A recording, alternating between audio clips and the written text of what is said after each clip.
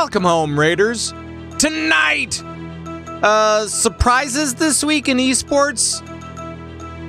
Not, not, not really. uh, although there were some tonight, and I'll try to get to that in just a second. As Convert to Raid presents BattleNet Sports.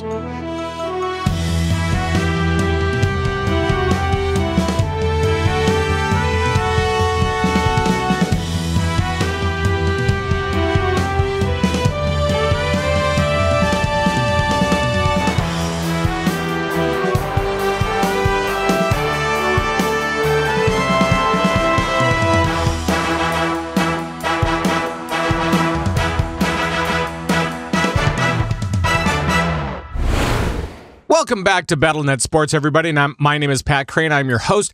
And this week we will be talking to Thyst about Overwatch League and uh, AWC as well. That's WoW Arena for you folks out there. Also, uh, Josh joins us to talk a little bit about HCT, the APAC playoffs for this last weekend, plus, of course, DreamHack Paris was going on, and we'll uh, we'll uh, catch up with her because uh, she started her new, her new, gig over there, and so we'll kind of figure out what was going on there. Um, as far as some other things, I'm just going to let you know about a couple of a couple of big things, kind of on the radar right now, uh, and this has to do with StarCraft Two. Now, WCS Austin, and I'm basically going to be uh, I'm selecting WCS is kind of like the main push for all of the StarCraft 2 stuff because that is what we're going to see at BlizzCon 2018. So that's why I'm doing this right now. Uh, but WCS Austin, this is the first uh, stop in North America for the for the 2018 WCS Circuit Series, uh, and of course, this is going to be a DreamHack June 1st through the 3rd. There's $20,000 in prize money, and uh, the tournament champion gets to go to BlizzCon. Okay, so there's that one that's on the radar. The other thing that's on the radar is that we are in season two uh, of Code S. I don't know what the S stands for, uh, but it's Code S season two of GSL. This is Global StarCraft League. Uh, and all three of these seasons that we're going to see from GSL uh, not only results in a champion going to BlizzCon, but there's also $150,000 in in uh, in the prize pool. And this is all over in Korea, and it's a very, very big thing over there. It really is. And right now we are in the round of 16, uh, GSL season two. And I will be uh, keeping you in the loop on that stuff. As far as the timeline goes for that, it, the the way that it's laid out is that throughout June, we will be going uh, further and further in, and then the grand, fina- grand finale will be toward the end of June. Uh, so, coming up, we will know who is going to go uh, to BlizzCon for, for season two. So, there you go. Um, now, let's move forward. But before we actually move forward, I'm going to move uh, ahead to today. Today is Wednesday, and Wednesday night is the beginning of the Overwatch League week, really. And we saw something interesting. Uh, the Fuel, who doesn't normally win a lot of stuff, actually beat Boston. I can't explain it. I'm not going to explain it. All I'm going to say is that that happened well after I talked to Thyst, which is going to happen right now. Well, we are uh, post week one of stage four, so now we're now we're fully into stage four. Uh, we no longer have to wait and see how the uh, how the top of the league is forming or the bottom of the league, although it is kind of surprising right now. And so to join me is uh, Thyst from Lagging Balls and and uh, BattleNet News. You come on there sometimes, and then uh, I do. uh, DBLTap.com. So welcome, Thyst. And Thank you. uh, so this last week was kind of interesting for Overwatch League. Oh yes. Uh, Um, everything that we kind of thought would happen kind of didn't, and Right. in a great way. And uh, it's interesting, like with the new map pool and with the new uh, meta. Uh huh. A lot of teams that were sort of mid ground are starting to uh, excel and that's exciting to see. And it's also very interesting to see some teams that are traditionally better than others not being so great anymore. Well, and and like there are five teams that are 0 and 2. They're in the basement after this first week, and it's kind of surprising. I mean, we have like Mayhem and the Dragons, which we kind of understand of are, course, yeah. are there. Uh, then we also have the Uprising, which I mean, they came close to winning stage three, and now they're just kind of on a losing uh, little route here. So we'll we'll just yeah. see what's going on. And then also on top of that, Dynasty and Spitfire, bottom of the basement. Yep, they are in the basement. What's going on? I don't. I don't know. I, I, I mean, I know there's an inj- injury on uh, Dynasty. London's having some roster issues, uh, but Uprising, like their 14 match regular season win streak, was ended by the Fusion. Yeah. Well, I mean, like, the, the, Fusion is a good team. I mean, I know, but they're they're they're a they're an upstanding team, and actually, uh, right now they are two and zero. Oh. So, you know. Yeah, yeah, yeah. I just I didn't see that coming. I th- I figured I figured Uprising, you know, like they they were amazing last stage. They were absolutely incredible, and you know they they did lose uh, the most crucial match, but you know, mm-hmm. like it was a it was well fought and stuff. So I figured, you know, okay, they took a week off to figure out what went wrong and they're going to come back better than ever and they're going to like win the whole season and it's going to be amazing. But nah they just kind of lost nah, nah, How, nah, we're nah. good. Actually we had fun last time. It's too much work. We're good now. It's fine. Right Right, and it, and it's kind of it's so uh, at the top we have the Outlaws, Gladiators, Fusion, Excelsior, and Valiant. I don't think there are any real surprises there, um, no. other than the Outlaws uh, going two and zero, oh, which I kind of was was like, okay, that's at least notable for now. Um, one of the one of the interesting things was that the Shock, the Fuel are now one and one, so they're kind of in the middle. That's not really a shock either, but the Shock beat. Uh, who did they beat? They beat the Uprising, right? Yeah. So that's weird to me. It is weird. And Dallas only won because they only win against China. That's it. They don't win against anyone else. and it's so it's so it's so bad. Like Shanghai is now 0 and 32. I know, it's 32. It's, yeah. Something's got to happen over there. Something's so, got to happen. The uh the uh the team's manager Van apologized on Twitter for the team's recent losses and kind of gave a glimpse into the like the training uh, regimen that this team has. So their daily schedule starts at 10:30 a.m. and okay. they come back to their house around 11 o'clock at night with possible training extensions to midnight. And they train six days a week with one day off. And during mid stages, they have three to four days off, depending on other teams' schedule if they have scrims with other teams. Uh-huh. So, I mean, they say like that's like the the most intensive uh, like training schedule of any team in the league as far as we know but like like maybe maybe they should just get some time off like maybe right. maybe they should be able to chill out a little bit more like maybe the opposite of that would help. I, I mean obviously i don't know but well and it, just it, right and i don't know what the other teams are doing. I mean i'm guessing that there are a variety of of uh, styles as far as coaching goes and and um i don't know it, it does seem a little intense it does. So. I mean, but you know, when you haven't won a single game, like what can you do? But at the same time, like with this new meta, with Dive being almost completely dead, um, we're seeing a lot of Zarya play. Yeah. And that's where Geguri, like she's an amazing D.Va. Of course, she's an incredible D.Va, but Geguri is her main. And watching her play Zarya in the Overwatch League, like I was like I was so sure that they were going to beat Dallas last week. I was positive that they were going to. But then Mickie comes out with Brigitte and completely slays. Oh my god. Yeah. And we, and we should we should actually talk about that because now we have Brigitte in play, uh, and and we are starting to see uh, the the pattern emerge about who's playing Brigitte, what she's being used as, and basically it's an anti dive comp. Uh, it's part of an anti dive, right? Yeah. Mm-hmm. So, um, so and and Mickie was playing Brigitte. I think like seventy percent of the time, or somewhere around there. I think so. And he yeah. was the only one from the whole team that was play- was playing it, and and the most in the league. That was the most yeah. in the league. So, uh, so how was Mickie on Brigitte? Oh, he was fantastic. He's like he's he's a solid player. He's my favorite player um, on the Dallas Fuel right now, and it was interesting to see. Like, I, it's funny because like Brigitte is a technically a support hero, and yeah. Mickie plays tank, and well, yeah, and uh, it's it was interesting to see like which uh, players in the Overwatch League would use Brigitte, um, and most of them weren't support players; they were flex.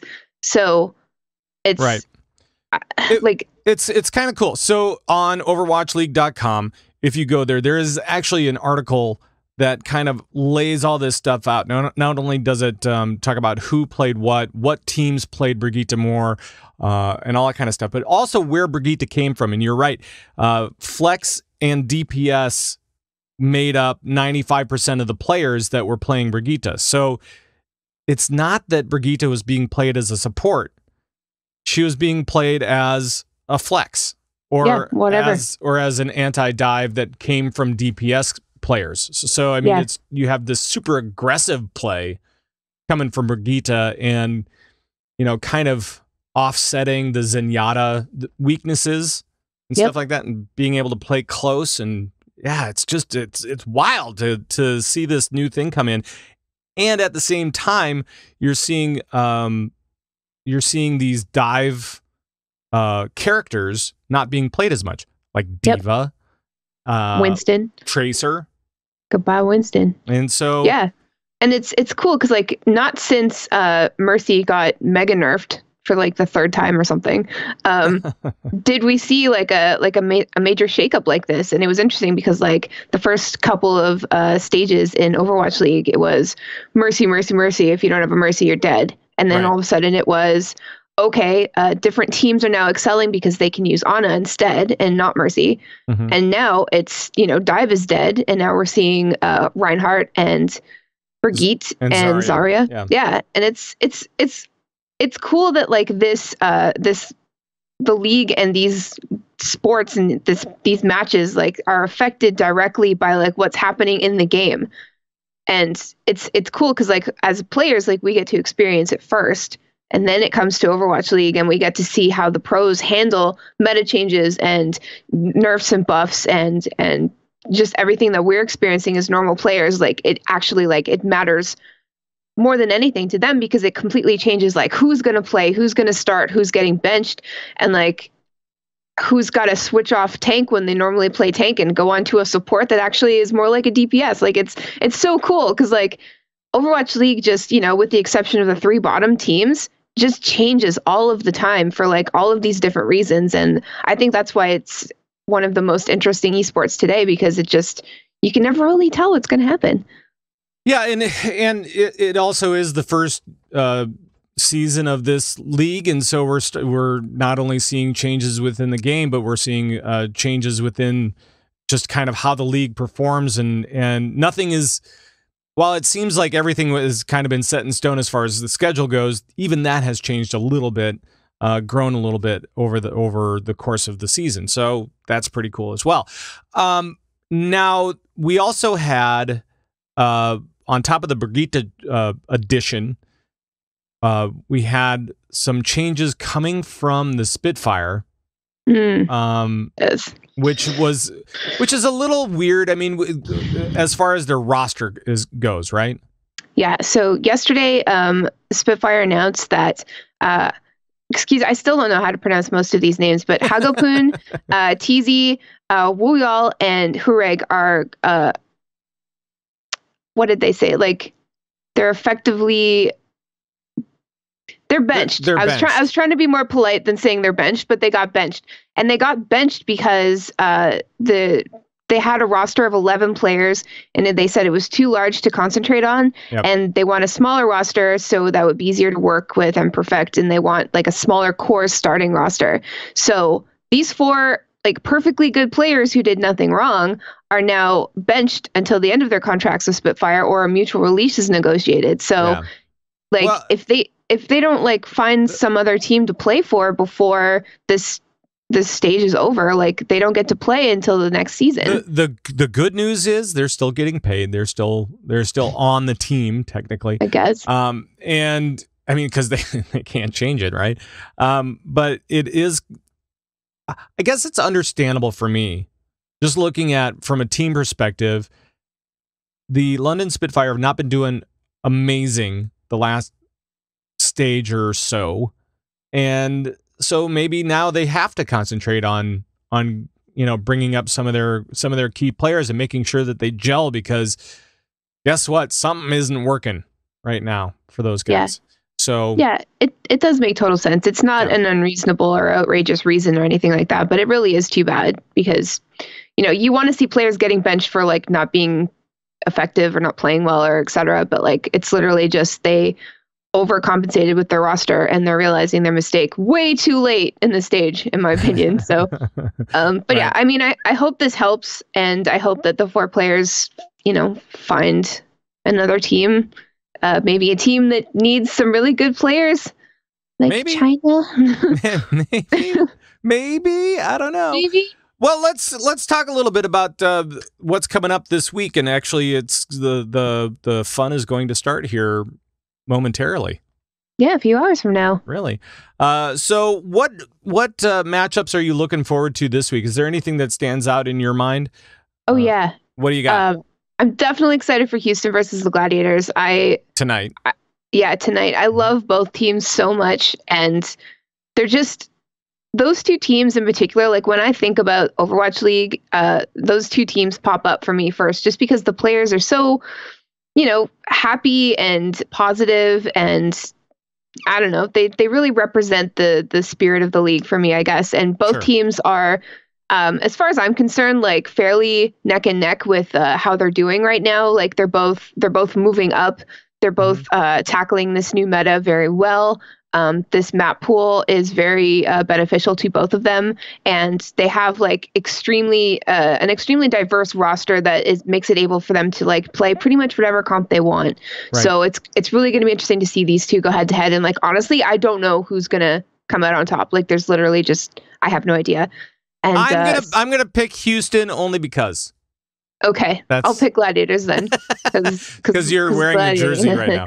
Uh, yeah. The the one of the one of the games that I'm looking forward to tomorrow night on the on the 24th is London versus San Francisco, and Ooh. it's not because it's because it seems like London is trying to rework some stuff, and San Francisco is actually in the last part of Stage Three. Actually, in a lot of Stage Three, they they were doing really really well and yeah. so I think that this could be a, a good matchup between these between these two clubs, and I guess we'll we'll uh, find out exactly what's going on. But that one does seem like a good one for Thursday, anyway.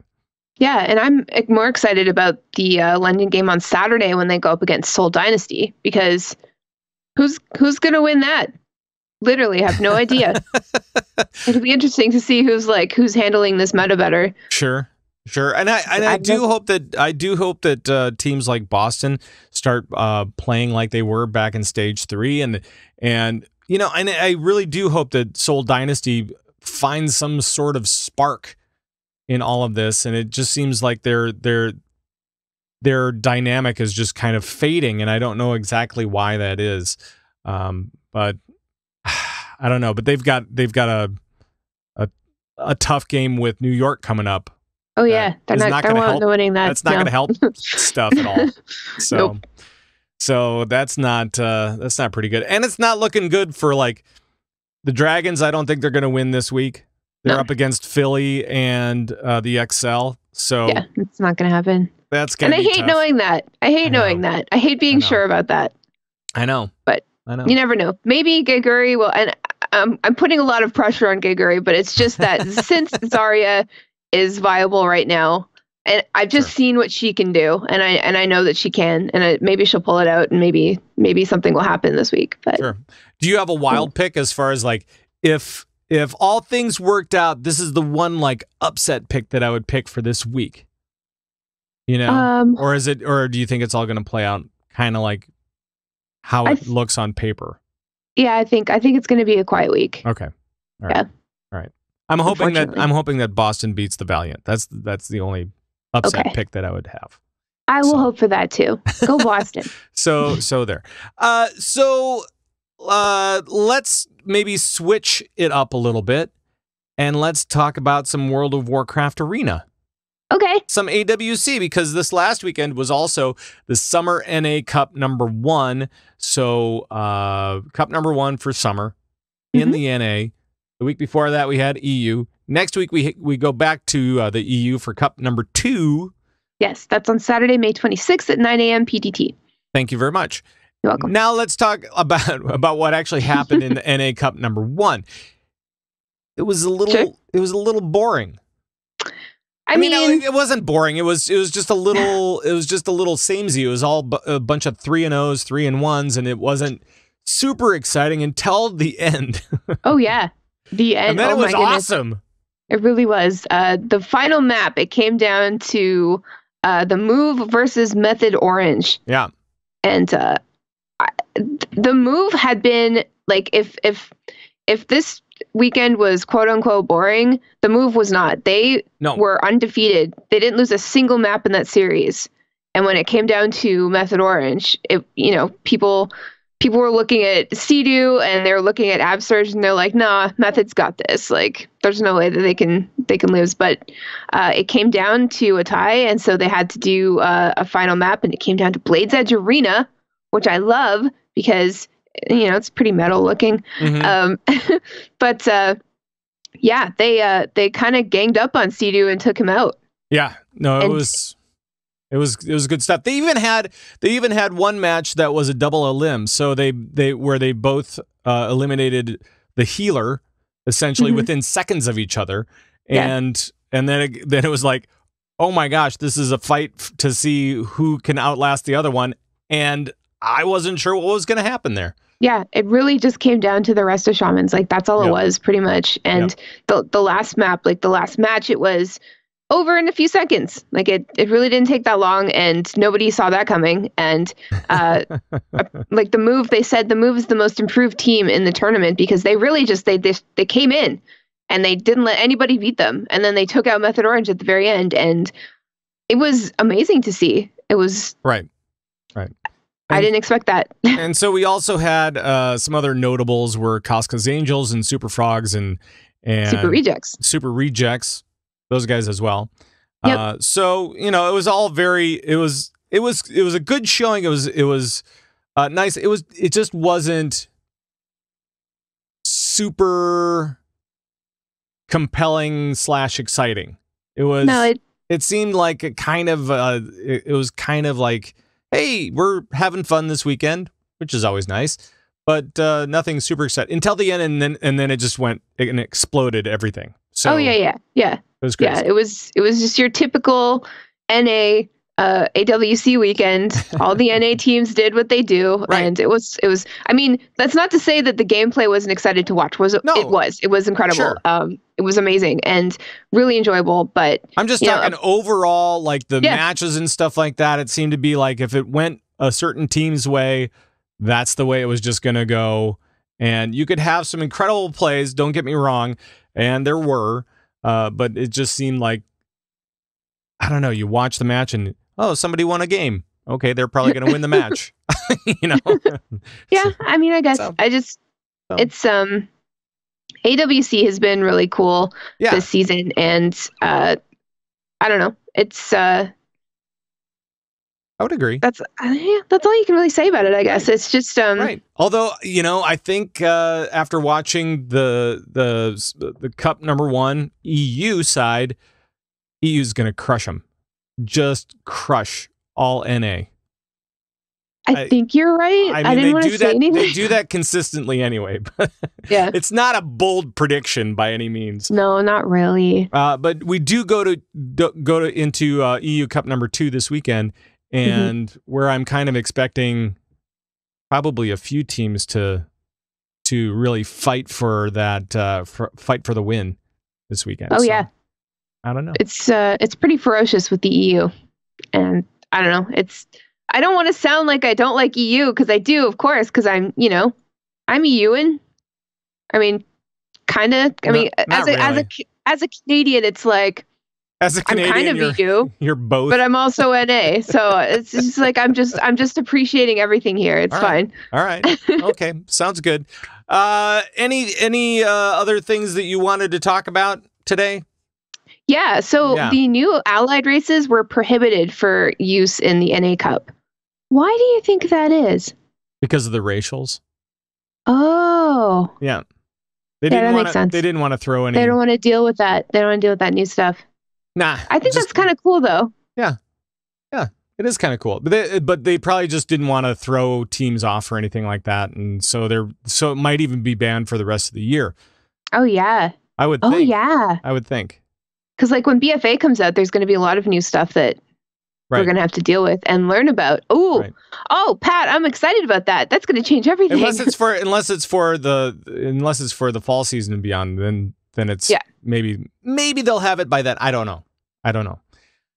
We shall see. But uh, we will catch up with what happened uh, this weekend next week. that makes sense. That does make sense, Like a especially to like. Chromie. That makes perfect sense. Oh yeah, yeah. We talked really great about what happened next this weekend. I don't know. yeah. Anyway, It was. now I'm confused. Yeah, everybody is. Uh, but this, thank you very much. And again, you can catch this on Lagging Balls, uh, B- uh, BattleNet News, and at dbltap.com. Uh, thanks for your insight and your help. You're welcome. Well, let's talk a little bit of Hearthstone, HCT, and uh, DreamHack stuff. And of course, we have Jocelyn Moffett returning uh, to us from, uh, from well, from DreamHack, really. yeah, I wasn't actually at DreamHack, but I was definitely on the France schedule. you were you were in it. You were in it. Yes. You were in it deep.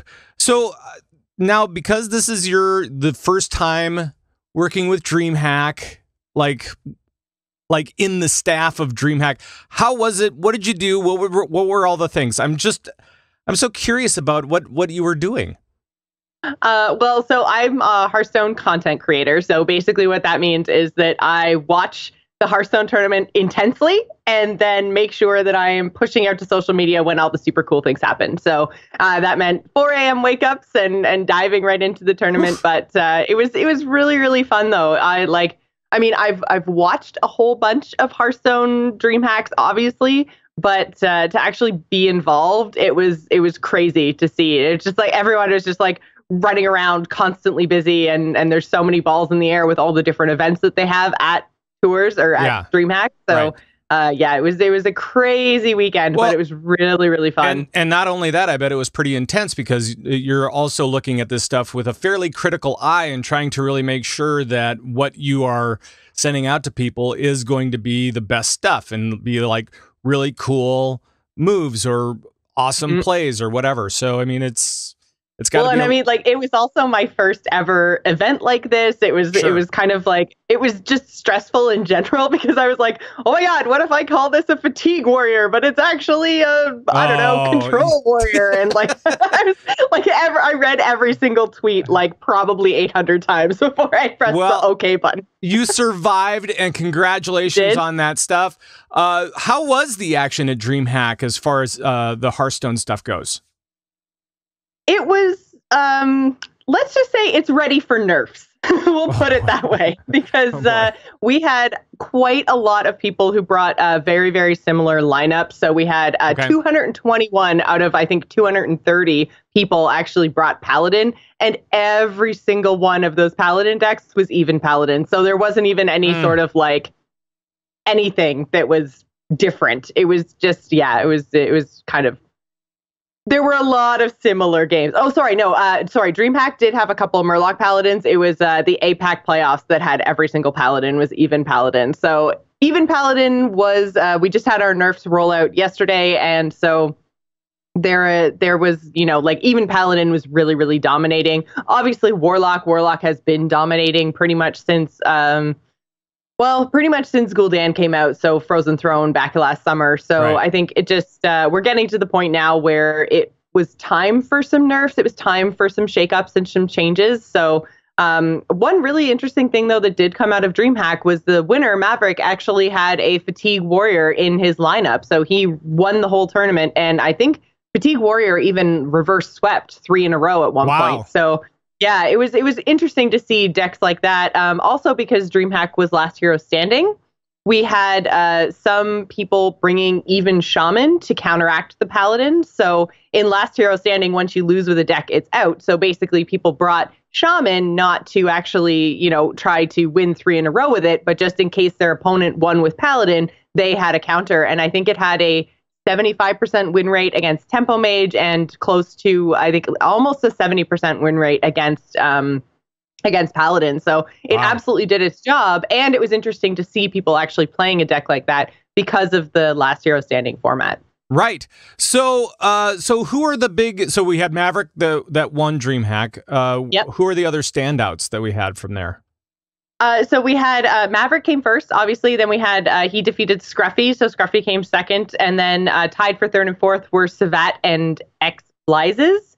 And uh, they they had some there were some really really good plays and some really good players. And actually, we had nine rounds of Swiss at DreamHack, so there were a couple of players who actually they took a top 16, but Mhm. because of the way the Swiss actually worked out, we didn't have anyone go undefeated which meant that not all of the seven and two players made it through. So we had both Tyler and Orange, who were very well known Hearthstone players, both went seven and two, but their tiebreakers weren't good enough to get them into the top 16. So that was uh, it was it was a little unfortunate. Yeah, I think Orange went um 0 and 2 and then won seven rounds straight after that. So Okay. I guess his uh, the people he lost to right at the beginning didn't end up with that great of a record overall. So it was Right. a little bit too bad for them because uh, yeah, they were they were both very very excited on Twitter right before uh, like right after they went seven and two. They were like, yeah, top sixteen, and then it was like, oh wait, they went, actually, "Oh, yeah, no."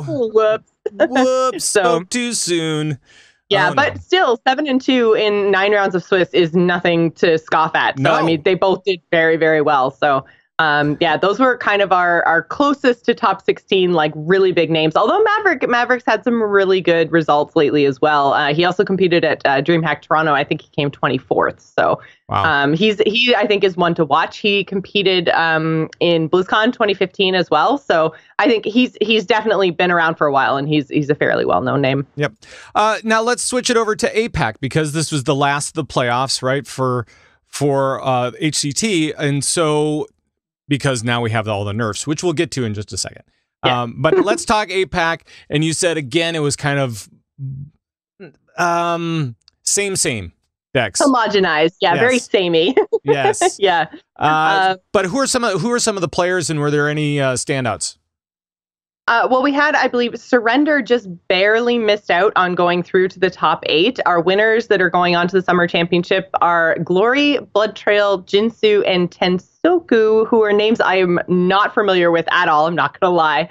Uh, but again, like you said, it was a very homogenized tournament. Everyone who brought Paladin, which was 68 out of 71 players, brought Paladin. and Every single one, like I mentioned Ugh. earlier, was even Paladin. So again, quite homogenized. Um, although we didn't see any Taunt Druid, Murloc Paladin, Zoolock, and Token Druid. They all just had completely disappeared Wow. from the America's Championship that we had um, last weekend up until APAC this weekend. They Right. just dropped completely off the map.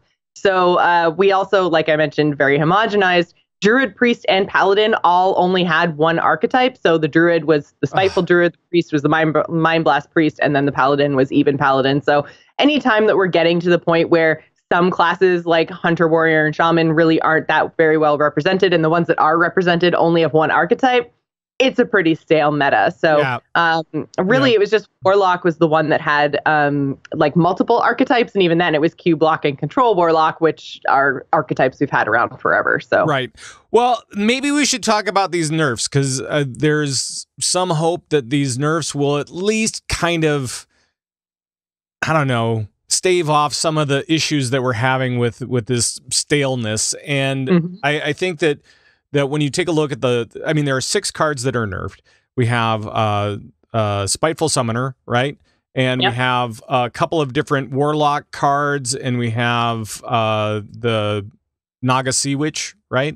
Is that the one? Yeah, Naga Sea Witch is um, exclusive to Wild, but yeah, the Okay. Naga Sea Witch is one of the ones that got nerfed. But yeah, so Spiteful Summoner went up in one mana in cost, which I don't really think is going to impact the Spiteful Druid too much. I've still run up against some Spiteful Druids on ladder today, and the, Well, the deck doesn't really change that much. and that's much. because they they have that mana play, so it's Yeah. like it doesn't really matter. I mean, it matters more for Spiteful Priest than anything else, right? Absolutely, because uh, the way the priest curve used to work, you could get your two summoners out, and then you could go into your uh, free from amber spells on eight, right? So now you're only getting the one spiteful out, and your curve's a little bit messed up.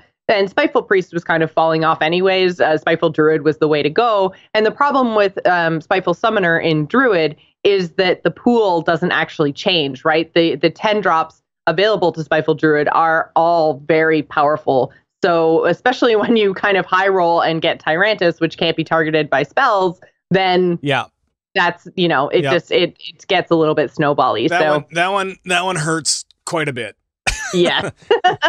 um, but in terms of Warlock, we had uh, the healing on Dark Pact was reduced, and uh, the lackey that the possessed lackey that pulls the demons out of your deck was increased in cost by one. So I think what we're going to see, um, possibly in tournament, definitely on ladder, is uh, kind of a move back towards aggro because those two changes are going to slow down both cube and control Warlock a little bit, and they're not going to be able to heal as much. So I think that we're probably going to see uh, more aggressive decks kind of take over, which I think is kind of good because some of the games, especially when you would get like Control Warlock against like Fatigue Warrior, it was just like we're talking like 45 minute Hearthstone Oh. games. Oh, So uh, I think it'll be nice to see a little bit of a shake up there, and we're going to see, I think, a little bit more aggression in the tournament meta. So probably uh, even Shaman seems well positioned now. I mentioned that before it was targeting Paladin. Now I Mhm. think it's just going to be good, period, Okay. without actually needing a specific target. Um, also, I think we're going to see a lot more Hunter. We're seeing people move away specifically from the face hunter variant and just into like a secret hunter kind of a build. okay. Uh, and then obviously uh, mage. Mage is going to be. Anything that's aggressive and burn is is going to do well as well. So it's kind of like all the aggro decks that kind of got bullied out by Paladin because Paladin was just so strong. Now I think we're just going to see more variety in the aggressive play style. Well, that that'll be at least fun to more fun to watch. I think, just in general. I think so. That'll I good. hope Zoolock comes back. To be honest, I I like Zoolock. I like the way that the deck plays, and if we're going to see any Warlock at all, I prefer to watch a Zoolock play because they're they're it's a lot more complicated. I think than people give it credit for when it comes to you know what trades you make when it's time to actually go face, and you know even positioning comes into play a lot in Zoolock, which some of the other decks can just ignore completely. So. Right. I, I like watching Zoolock play, so I, I hope that we see more of that um, in the in uh, DreamHack Austin in a couple Right. weeks. Well, and and I was just gonna say, DreamHack Austin is June first through the third. That is the next tournament, um, and we don't really know what to expect here, do we? Not really. It's always hard to tell. I mean, the nerfs went live yesterday, so we really don't know what's going to be good and what isn't going to be good. Sure. Um, I've been playing a quest priest, which is really really fun, but I don't really know if it's like tournament viable. but um, yeah, I think priest is going to be really strong, uh, and like I mentioned, shaman hunter. And any kind of aggressive deck in general, which is why I think the priest, the quest priest specifically, you might see some play just because it's um, there's a lot of healing in that deck, not to mention with some of the new tools that we got with Witchwood, which I think these nerfs are going to let the Witchwood cards actually shine a little bit more. So we got a couple of cards in Witchwood that are actually going to allow the priest to kind of use that healing back to 40 or setting your health to 40 probably more than once in a game. So um, I think the Quest Priest is going to be quite good against uh, these aggro variants that I expect to show up. So Cool. it's going to come down to uh, what people are trying to target. If they think that aggressive lineups are going to be more prevalent, or if they think control lineups are going to be more prevalent, or if they're going to go with just kind of the best available decks, which again, we're still not even sure what those best available highest win rate decks are going to be. Right. So Right. uh, everything's kind of up in the air, but I'm hoping uh, that by next week we should have a better idea because I think the um, deck list deadline for DreamHack Austin is actually next Tuesday. So Okay. we should uh, we should have a good idea next week going in uh, what exactly people think the meta is going to look like. All right. Well, sounds good. And make sure to rest up because uh, you're going to be busy come uh, come June 1st through the third. At 3rd. least it's in the right time zone this time, and I don't have to pretend that I am in France. That's true. That's true. Well, Jocelyn Moffett, thank you so much for your insight, and we will talk to you next time. And that is going to do it here at BattleNet Sports. I want to thank Jocelyn and uh, and Thyst as well for joining me and, and sharing their knowledge and their passion for these wonderful esports that uh, that we all enjoy so much. All all the Blizzard game esports. Also, a big shout out to Alessander because without Alessander, uh, the StarCraft 2 experience probably would not be here on BattleNet Sports. But I, I see the error of my ways. So so so thank you very much. And uh, a big thanks to all of you guys. And if you want to find out more about what we do, please go over to converttoraid.com. That's where we have uh, not only all of our all, all of our audio and our video, but our our guild stuff for the WoW side of things, uh, and the Convert to Raid podcast network, which features uh, shows from the regular players that join us not only at BattleNet Sports but also at our sister show BattleNet News. Uh, so please go over to converttoraid.com, check it all out, and uh, and tell us what you think. You can always uh, talk to us at ConvertToRaid on Twitter. So uh, thank you very much for dropping by. Really, really do appreciate you guys um, uh, picking up the show every week. So thank you very much for that. And we will see you next time. For all the guys here at Convert bye bye, everybody. Bye bye.